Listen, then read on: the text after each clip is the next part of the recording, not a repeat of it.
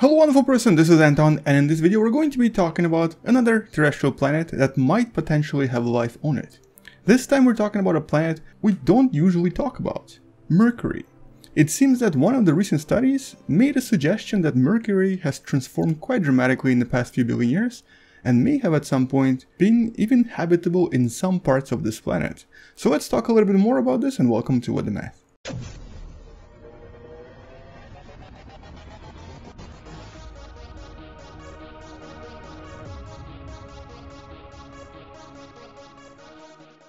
So when it comes to habitability, or essentially ability to preserve life and to create life and to have life evolve over time, and more specifically, have liquid water on the surface, we've always talked about three major candidates. Obviously, our planet Earth that had several cycles of habitability and changed its surface quite uh, dramatically over the period of about 4 billion years. We obviously also talked about Mars many different times and life possibly even still existing here somewhere beneath the surface. We've also talked about Venus, which once upon a time most likely looked like Earth and had a very large ocean, but also possibly still has life in the upper clouds. Although this is something we need to do kind of investigate and uh, hopefully some of the future missions will do just that. But we've never really talked about Mercury, which despite sort of looking like our own moon, and despite still being a terrestrial planet, is a little bit too close to the sun and uh, potentially just doesn't have uh, much atmosphere or really any other conditions to support water. This is what we've believed for many years, but the recent study sort of uh, argues against that. And it even presents an idea that maybe once upon a time there was liquid water, but that liquid water did not exist in the same way as it did on Venus and on Mars. This was water hidden underground. So what exactly are these scientists proposing? Well, first of all, when it comes to our own planet, Earth, we've actually discovered, um, at least in the last few years, life in some of the more unusual places here. I think about two years ago I've talked about how we actually found life underneath our soil. Specifically, if you were to dig deep into the ground here and try to actually look underneath the surface up to about 5 kilometers deep, you would discover a tremendously massive world of various bacteria and viruses living and thriving underneath our feet. Also, a lot more recently, only a few weeks ago from when I'm making this video, we discovered life inside the actual ocean crust underneath the ocean in the conditions where really nothing should exist. But we've also discovered bacteria living there as well. So essentially finding life underground is pretty common here on our planet. And even though the temperature on the day side of Mercury can reach up to about 400 degrees Celsius or about 750 Fahrenheit, this doesn't mean that uh, life could not exist here in some of the darker areas or possibly in the polar regions where we have actually recently discovered quite a lot of water ice. And one of the recent videos even explains uh, how all of this ice is produced. But that's not really what these scientists are talking about. They're talking about some of the historical events that seem to suggest that Mercury has dramatically changed with time and may have actually possessed a very large ocean underneath the crust, liquid water underneath the planet. This proposition is actually based on the fact that if we were to look at Mercury today, as we have in uh, several different missions, and more specifically the most recent mission was the Messenger uh, mission that explored Mercury. With a lot of different studies that it conducted around Mercury for several years, we would discover something a little bit unusual. First of all, it seems like the planet has actually shrunk over time. And second of all, there seem to be areas on Mercury that suggest some kind of a implosion. Essentially as if the ground collapsed, as if something um, sucked it in or something made it collapse from, uh, from within. And this is something we didn't really expect to find, and some of the scientists, in the past at least, explain this away as possibly the result of a major collision on Mercury, which almost certainly did happen. And the collision itself very likely did actually dislodge a large part of the Mercury's mantle, although this collision here was a little bit too small, let's try this again. And at the same time, it created a lot of other deformations that are still observable. But when the recent study investigated some of these deformations, and when it actually tried to look at the potential age of these different surface features that we have on Mercury, this study right here discovered something completely different. It discovered that some of these formations actually appeared billions of years after the initial collision. Essentially, this impact here could not really explain some of the other features we're observing, which also appear to be implosions of some sorts.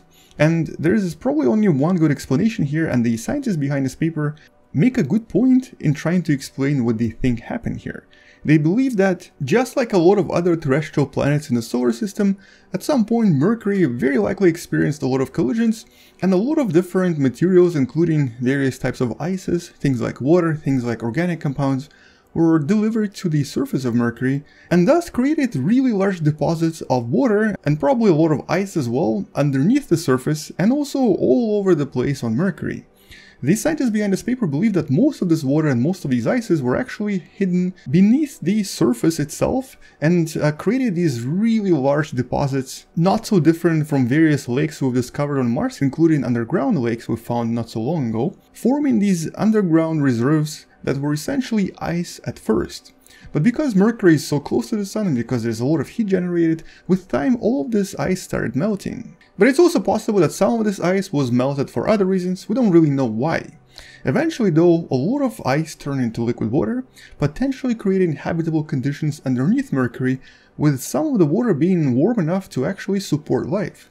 But eventually, even this water started to become vapor and then disappear and escape through various cracks in the surface, essentially creating these really really large, but at the same time also completely empty caverns which eventually collapsed because there was nothing to support them.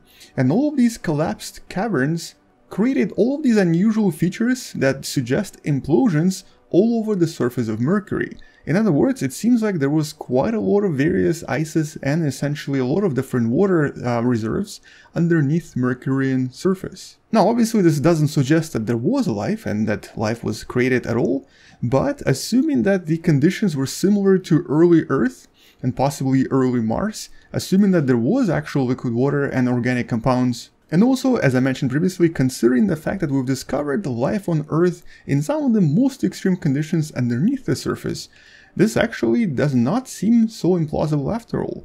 Life could have totally existed there, it could have evolved there, and the thing is, it can still be around mostly because even today in the polar regions of Mercury there's still quite a lot of various water deposits that we've discovered not so long ago. And some of this water is still being generated on Mercury even today and I've talked about how this is done in one of the previous videos. In other words, it seems like the terrestrial planets in our solar system all have a reason and a chance to at some point in their existence create habitable conditions and to potentially help life evolve as well. But interestingly, the one planet we never really expected to have any habitable conditions now also has a reason to be the target for new studies.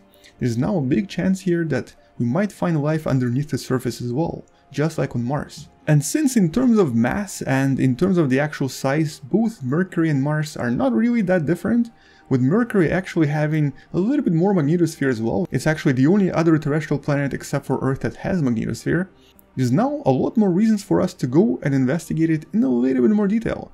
Maybe even this should take precedence over Mars, because Mercury most likely also has a lot more other materials on its surface. And okay, I didn't mean to destroy this planet, but basically, here's another one.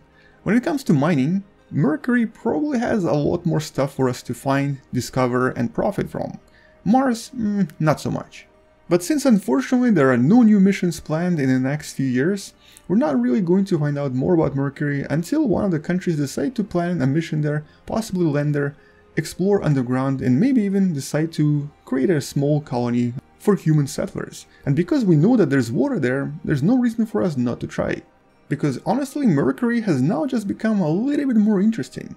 Probably even a lot more interesting. I would even say that a lot more interesting than Mars. But I guess until someone decides to go and explore it, we're not really going to find out anything else. Until we discover more, or until we learn more about Mercury and other terrestrial planets, that's really it. Thank you for watching, subscribe if you still haven't, share this with someone who loves learning about space sciences, and who, I guess, likes to see planets destroyed, because once in a while, I tend to do that. And also consider supporting this channel on Patreon, it does help me quite a lot. Alternatively, you can also support this channel by buying the beautiful Wonderful Person t-shirt that you can also find in the description below. On that note, I'll see you tomorrow, space out, and as always, bye bye.